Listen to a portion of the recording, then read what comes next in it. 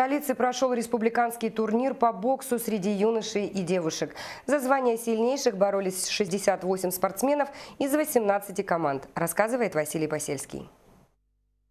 Турнир выявлял состав сборной команды республики на первенство Дальнего Востока, который будет проходить в конце января в городе Биробиджане. Поэтому участвовали, как и подсказывает само название турнира, самые-самые.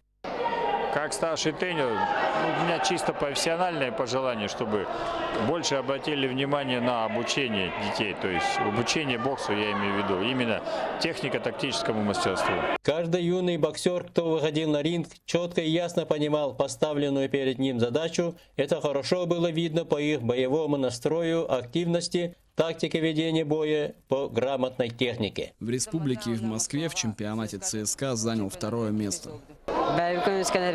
Бокс помогает мне в самозащите, в школе на занятиях по физкультуре, летом на синокосе.